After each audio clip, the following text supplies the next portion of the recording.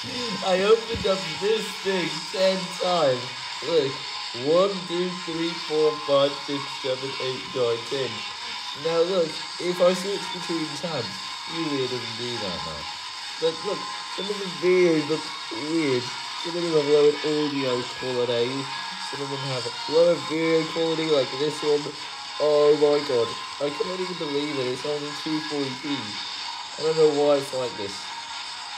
Playing kind of them at the same time. If I open up the task manager, here's what the case is.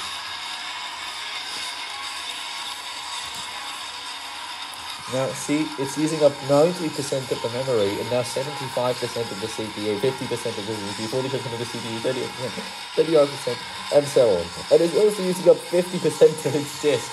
Like, using up more than 90% of its memory. This is not good. Oh no.